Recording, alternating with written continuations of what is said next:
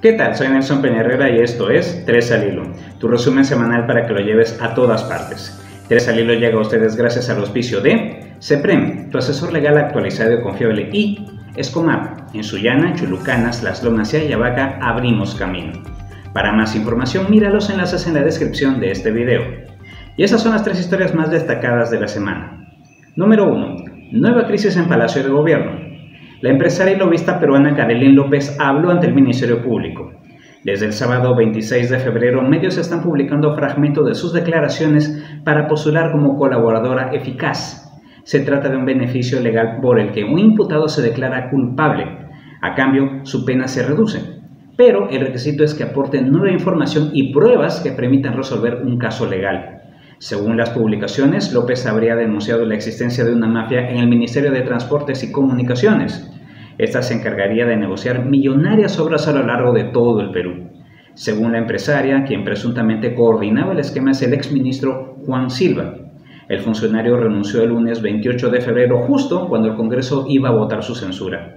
Los pedazos de declaración también apuntarían al presidente de la República, Pedro Castillo, y el exsecretario general de Palacio de Gobierno, Bruno Pacheco.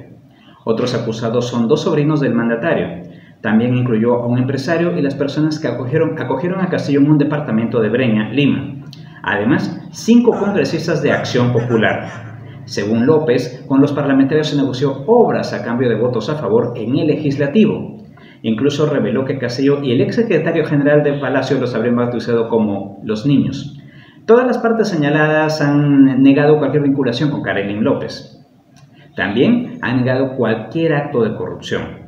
La revelación ocurre justo cuando el gabinete debe ir al Congreso para pedir el voto de investidura. Este trámite está previsto para el martes 8 de marzo. Pero un día antes, el lunes, Pedro Castillo tendrá que responder ante la Comisión de Fiscalización. Número 2. Llegó la onda de choque. Continúan los bombardeos de Rusia sobre Ucrania. Misiles han alcanzado edificios residenciales y carreteras la crisis humanitaria aumenta. Va más de medio millón de refugiados ucranianos y contando. Rusia también habría atacado el jueves 3 la planta nuclear de Zaporilla. Ucrania advirtió que Zaporilla es seis veces más peligrosa que Fukushima. Esa planta ubicada en Japón fue afectada tras un terremoto y tsunami que azotó el noreste de ese país en marzo de 2011. A nivel mundial, las bolsas de valores han recuperado sus pérdidas, pero Rusia ha sido financieramente bloqueada. Estados Unidos y la Unión Europea suspendieron la membresía de bancos rusos del sistema SWIFT, que permite transferir dinero entre diferentes entidades del mundo. Asimismo, se han congelado cuentas y bienes de origen ruso en el exterior. Facebook bloqueó el acceso a medios de comunicación manejados por Moscú. Lo que sigue en alza es el precio del petróleo. El barril terminó la semana por encima de los 130 dólares. El precio del gas también sigue en aumento. Y en cuanto a la economía peruana, ya hay un daño directo. Panificadores denunciaron que el precio de la harina de trigo ha comenzado a subir. De 125 soles o 32 dólares el saco, ahora lo consiguen por 135 soles o 37 dólares el saco. El impacto directo será sobre el precio del pan.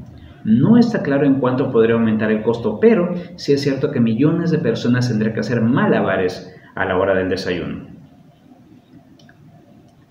Y esta imagen corresponde a la mañana del viernes 4 aquí en Sullana.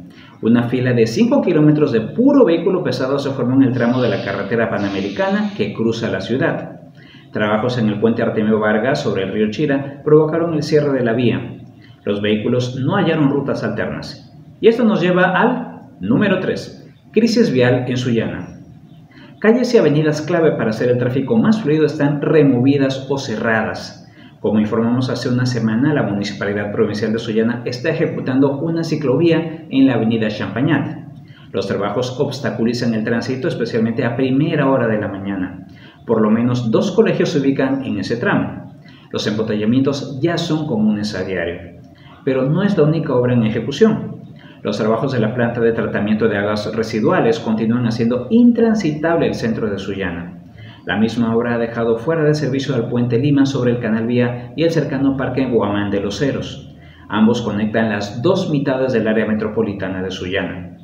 Si a ello le sumamos los trabajos en el puente Vargas, también conocido como puente Sullana o puente Nuevo, tenemos la crisis vial perfecta. ¿Podría pasar algo peor? Sí, esta es época de lluvias. Todavía no cae ninguna fuerte, pero podrían hacer más caótico el tráfico. ¿Te has quedado atascado o atascada en el tránsito? Coméntanos con el hashtag 3AH Comunidad. Y hasta aquí esta edición. Agradecemos el auspicio de CEPREM, Procesor Legal Actualizado y Confiable, y ESCOMAP. En Suyana, Chulucanas, Las Lomas y Ayabaca abrimos camino.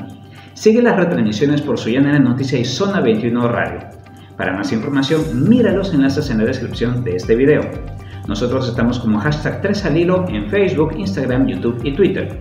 A mí me encuentras en tus redes sociales como arroba Nelson Suyana. Desde Suyana le reportó Nelson Peña Herrera. Hasta la próxima semana.